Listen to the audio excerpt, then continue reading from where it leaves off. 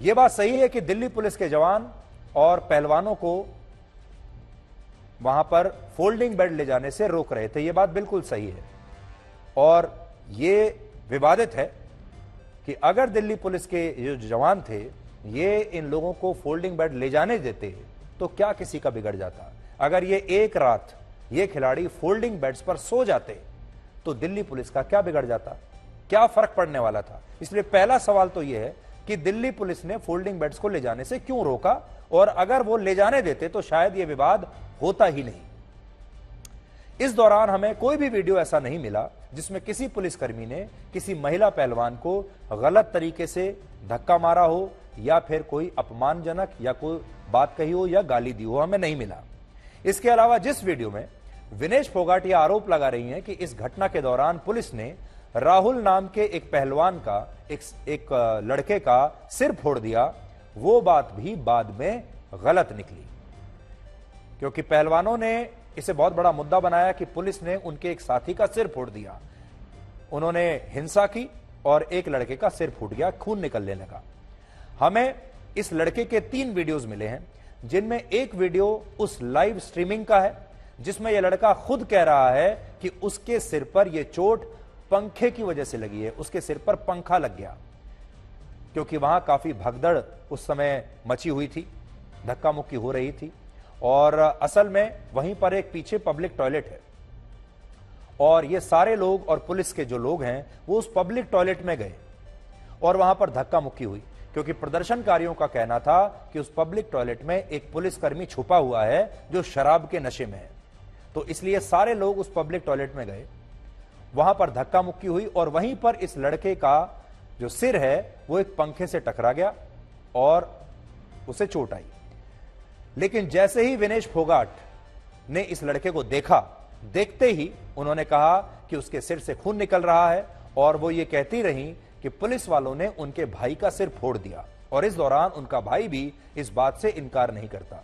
अब आप ये सारे वीडियोस एक साथ देखिए जिसमें विरोधाभास है। पहले ये लड़का कहता है कि उसे ये चोट पंखे से टकराने की वजह से लगी है और बाद में यह बयान बदलता है और कहता है कि उसे पुलिस ने मारा है। ये देखो भाई वहाँ लग हो। रखा है। अंदर एक बार दिखाइए। ये मारपीट हुई कित की भाई दिखाइए एक बार।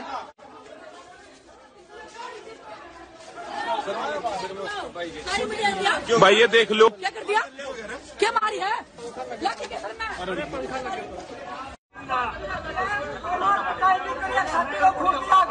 सभी पत्रकार यहाँ पर आ जाओ।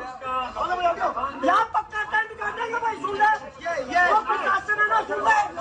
भाई टेंट भी आओगा ही बड़ा वाटर प्रूफ टेंट लगेगा। वाटर प्रूफ टेंट लगेगा भाई कुछ भी ना भी त्राण दे दे भाई। गार में सुहा, गार में पड़ो इस पूरे संघर्ष का एक और वीडियो भी काफ़ी चर्चा में है, जिसमें प्रदर्शनकारियों ने दिल्ली पुलिस के एक जवान को सड़क पर बैठाया हुआ है और वो कह रहे हैं कि ये जवान जो है दिल्ली पुलिस का, ये शराब पी रहा था और शराब के नशे में यहाँ बैठा हुआ है। पहलवानों का दावा था, आरोप था कि दिल्ली पुलिस का ये जवान और इसके कुछ और सहयोगी शराब के नशे में जंतर मंतर पर आए थे और इसी नशे में इन पुलिसकर्मियों ने पहलवानों के साथ धक्का मुक्की की, बदतमीजी की और महिला पहलवानों के साथ भी बदसलूकी की। ये वो पुलिस वाले की तस्वीर है, जिस पर आरोप है कि ये शराब के नशे में वहाँ पर था।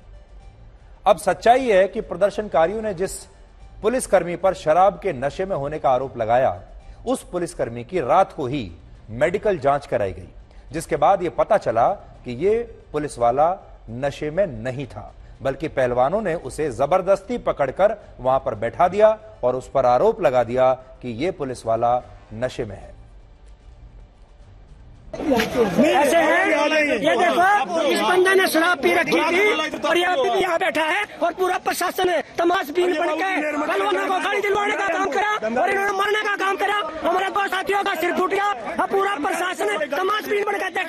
ये देखिए, ये असला है मेरे को काम से करे हाँ यही पुलिस प्रशासन है यही गुलाब, यही मेडिकल होगा हाँ नहीं होगा ये देखिए भाई धक्का मुक्की इन सारा झगड़ा सारा झगड़ा इनका खड़ा हो। है धक्का मार लगे मेरे को? संगीता को लड़कियों को धक्का मार धक्का मारे एक महिला करा दी आप भी धक्का मार रहा था तीस आदमी ने मारे भाई। ये पुलिस वाले का है इस तरह।